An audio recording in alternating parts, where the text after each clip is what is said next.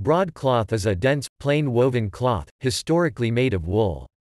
The defining characteristic of broadcloth is not its finished width, but the fact that it was woven much wider and then heavily milled in order to shrink it to the required width.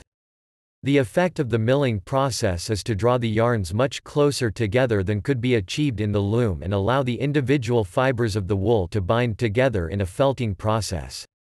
This results in a dense, blind face cloth with a stiff drape which is highly weather resistant, hard wearing and capable of taking a cut edge without the need for being hemmed.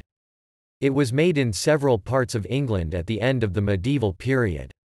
The raw material was short staple wool, carded and spun into yarn and then woven on a broad loom to produce cloth 1.75 yards wide. It was then fulled, usually in a fulling mill.